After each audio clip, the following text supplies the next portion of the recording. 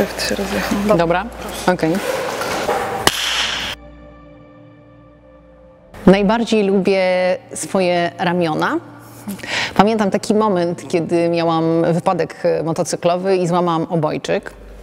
Obudziłam się po operacji i miałam wielką szramę e, właściwie przez całe ramię.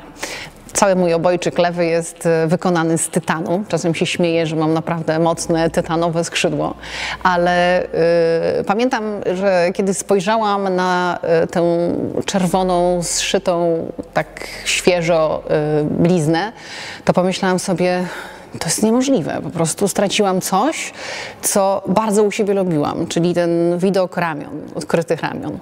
Ale właśnie z czasem zrozumiałam, że y, nigdy nie chciałabym się pozbyć tej blizny, tak jak nie chciałabym się pozbyć tej historii, nawet i tego wypadku, bo to jest część mnie. E, Takim chyba mądrym powiedzeniem jest, że blizny, te dosłownie w przenośni, to jest e, coś takiego jak tatuaż, tylko że ma za sobą niezwykłą historię. I te wszystkie historie to jest coś, co nas buduje. Kto powiedział, że mam dobrą relację z ciałem? To, to, e, to była czasem bardzo burzliwa miłość na różnych etapach.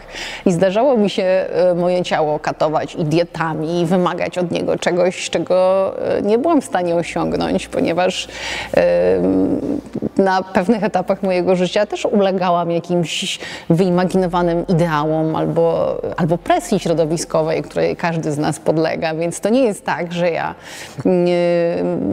mogę powiedzieć, że mam e, samoakceptację 100% od pierwszego momentu, kiedy zdałam sobie sprawę, że jestem kobietą.